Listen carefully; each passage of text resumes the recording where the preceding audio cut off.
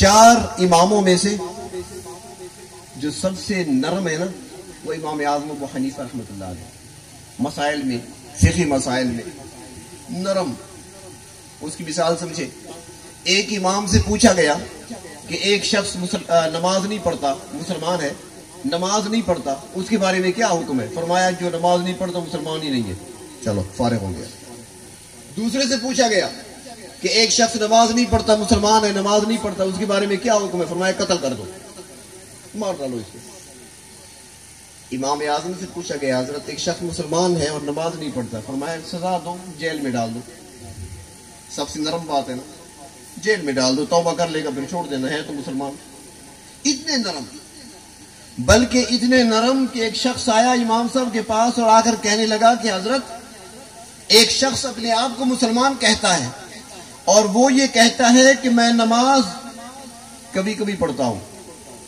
نماز کبھی کبھی پڑھتا ہوں۔ اس کے بارے میں کیا حکم ہے؟ فرمایا، مسلمان ہے۔ اس نے پوچھا، حضرت، وہ کہتا ہے، میں نماز تو کبھی پڑھ لیتا ہوں، لیکن میں رکوع، سجدہ نہیں کرتا۔ اب کیا حکم ہے؟ فرمایا، مسلمان ہے۔ اچھا۔ پھر وہ کہنے لگا جی وہ ایک اور بات بھی کرتا ہے۔ وہ کہتا ہے کہ مجھے جنت کا کوئی شوق نہیں ہے۔ جنت کی مجھے کوئی طلب نہیں۔ فرمایا مسلمان ہے۔ اس نے کہا جی وہ ایک اور بات بھی کرتا ہے کہ میں جہنم سے نہیں ڈرتا۔ اب کیا حکم ہے؟ فرمایا، اب بھی مسلمان ہے۔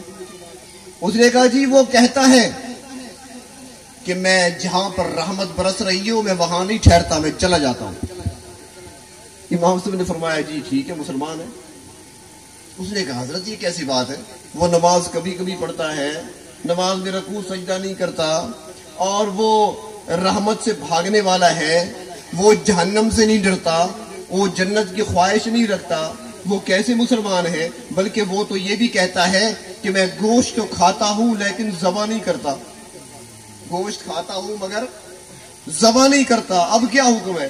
فرمایا، اب بھی مسلمان ہے۔ اس نے کہا، حضرت، اب کیسے کہہ رہے ہیں؟ فرمایا، بھائی، حسن زن رکھو۔ وہ کہتا ہے نا، کبھی کبھی پڑھتا ہوں نماز اور رکوع سجدہ نہیں کرتا، وہ جنازے کی پڑھتا ہوگا۔ جنازہ تو کبھی کبھی ہوتا ہے نا۔ پانچ وقت تو جنازہ نہیں ہوتا۔ ہاں مکہ مدینہ میں ہوتے ہیں پانچوں وقت۔ باقی ہر جگہ تو نہیں ہوتے ہر وقت، کبھی کبھی ہوتا ہے۔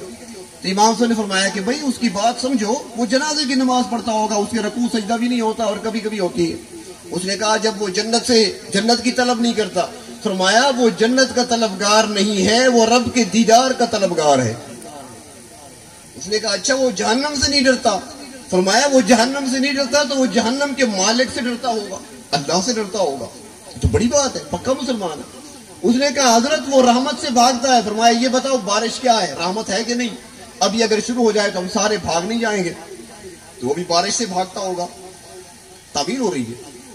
اس نے کہا جی وہ گوشت کھاتا ہے بغیر ذبح کے۔ فرمایا، ٹھیک ہے، مچھلی کھاتا ہوگا۔ اتنے نرم مزاج امام۔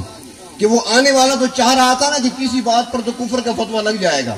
لیکن امام صاحب نے کہا، نہیں، مسلمان ہے، پکا مسلمان ہے، ہر بات کو اس کو جواب دے دیا۔ وہ امام۔ لیکن وہی امام کہتے ہیں کہ لوگوں اگر کوئی شخص نبوت کا دعویٰ کرتا ہے میرے پیغمبر کے بعد، وہ تو کافر ہے ہی، کوئی شک نہیں۔ اگر کوئی مسلمان آ کر اس کی نبوت کی دلیل طلب کرے گا، وہ بھی کافر ہو جائے گا۔ اس معاملے میں کوئی نرمی نہیں ہے۔ کیونکہ یہ ایسا مضبوط اور پختہ عقیدہ ہونا چاہیے ایک مسلمان کا کہ اس بارے میں کوئی اگر آئے بھی صحیح، نہ کسی دلیل کی ضرورت ہے، نہ کسی سوال کی ضرورت ہے، جو بھی دعوی نبوت کا کرے گا، پیغمبر اسلام کے بعد وہ پکا کافر ہوگا، جو اس کو تسلیم کرے گا، وہ بھی کافر ہوگا، جو اس سے دلیل مانگے گا، وہ بھی کافر ہوگا۔